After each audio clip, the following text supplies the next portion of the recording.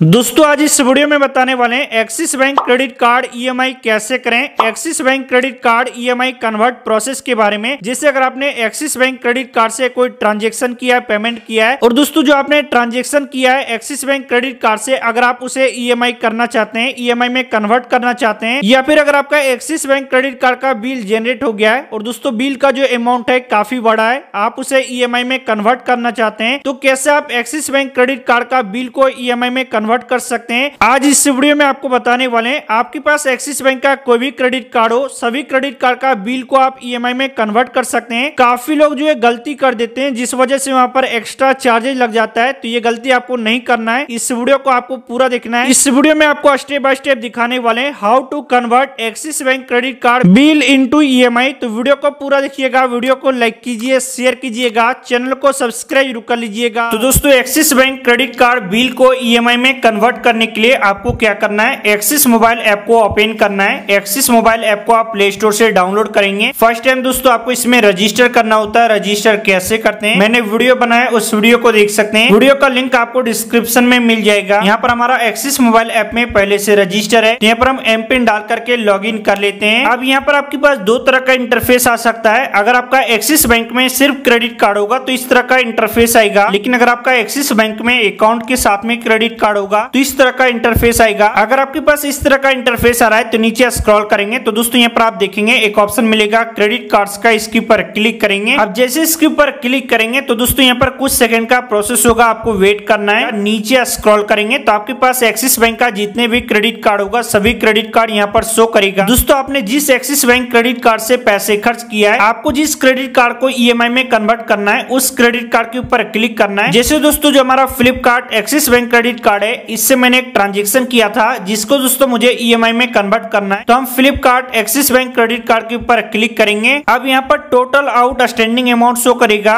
और आपके credit card में कितना लिमिट अवेलेबल है, यहाँ पर शो करेगा। नीचे स्क्रॉल करेंगे। अब दोस्तों, अगर आप एक्सिस बैंक क्रेडिट कार्ड का बिल को ईएमआई में कन्वर्ट करना चाहते हैं तो इसके लिए यहाँ पर दो तरह का सीनेरियो है। आपको इस वीडियो को पूरा देखना है। अब दोस्तों, यहाँ पर नीचे स्क्रॉल करेंगे तो यहाँ पर देख सकते हैं एक ऑप्शन मिलेगा कन्वर्ट टू ई का। दोस्तों, आपने इस क्रेडिट कार्ड से जितना भी ट्रांजेक्शन किया होगा। सभी ट्रांजेक्शन हिस्ट्री यहाँ पर आपको शो करेगा। आपको दोस्तों जिस ट्रांजेक्शन को ईएमआई में कन्वर्ट करना है, उस ट्रांजेक्शन के ऊपर क्लिक कर देना है। अगर आपको सभी ट्रांजेक्शन को ईएमआई में कन्वर्ट करना है तो यहाँ पर आप सिलेक्ट ऑल करेंगे। अगर दोस्तों आप सिंगल ट्रांजेक्शन को ई में कन्वर्ट करना चाह रहे हैं तो दोस्तों यहाँ पर आपका जो अमाउंट है, कम से कम पच्चीस का होना चाहिए। तभी यहाँ पर आप जो ई में कन्वर्ट कर पाएँगे। अब यहाँ पर कन्वर्ट टू ई वाले ऑप्शन के ऊपर क्लिक करेंगे। उसके बाद दोस्तों यहाँ पर देख सकते हैं, आपको टेन ईयर सिलेक्ट करना है कि आप कितने महीने का ईएमआई बनाना चाहते हैं, जैसे छह महीने का, नौ महीने का, बारह महीने का तो जैसे मुझे बारह महीने का ईएमआई बनाना है तो यहाँ पर देख सकते हैं। मुझे कितना हर महीने ईएमआई पेमेंट करना होगा, यहाँ पर शो करेगा। रेट ऑफ़ इंटरेस्ट देख सकते हैं पर मंथ कितना लगेगा शो करेगा। कितने महीने का हम ईएमआई बना रहे हैं, यहाँ पर शो करेगा। वन टाइम एक प्रोसेसिंग फ़ी लगता है, जो की यहाँ पर शो करेगा। और इसपे अठारह परसेंट का जीएसटी अलग से लगेगा। यहाँ पर देख सकते हैं, आपका ईएमआई अमाउंट शो करेगा। आपको हर महीने जो है इतना अमाउंट पेमेंट करना होगा। तो सब कुछ चेक करने के बाद इसका टर्म्स कंडीशन को एक्सेप्ट करना है, उसके बाद कन्वर्ट टू ईएमआई वाले ऑप्शन के ऊपर क्लिक करेंगे। फिर दोस्तों, यहाँ पर आपको एम पिन डालना है, जो आपका एक्सिस मोबाइल ऐप का एम पिन है। जैसे यहाँ पर आप एम पिन डालेंगे, आपका एक्सिस बैंक क्रेडिट कार्ड का बिल जो है ईएमआई में कन्वर्ट हो जाएगा। जिससे आपका बिल ईएमआई में कन्वर्ट होगा तो दोस्तों, यहाँ पर देखेंगे, आपका टोटल आउटस्टैंडिंग अमाउंट जो है कम हो जाएगा। जैसा की मैंने आपको बताया था की यहाँ पर ईएमआई कन्वर्ट करने के लिए दो सीनेरियो है। तो पहला सीनेरियो दोस्तों, अगर आपका क्रेडिट कार्ड का बिल जनरेट हो गया होगा